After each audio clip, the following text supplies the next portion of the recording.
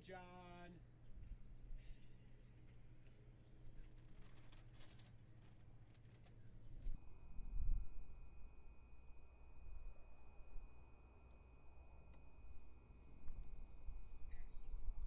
So we're looking forward to you finding a bear on that camera someday.